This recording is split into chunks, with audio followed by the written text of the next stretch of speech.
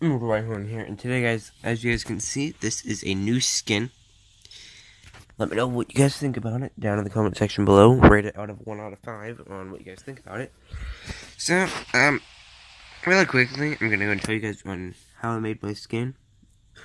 Well, I first started to make it, and it was bright, like neon green, lime green.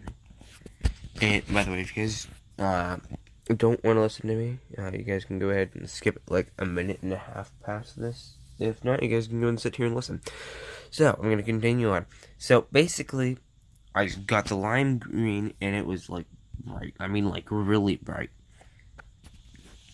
Like, it was brighter than what my hair looks like right now. So, I went ahead and did that. And before my eyes looked like I was a crazy person, that they looked like there's a little black dot on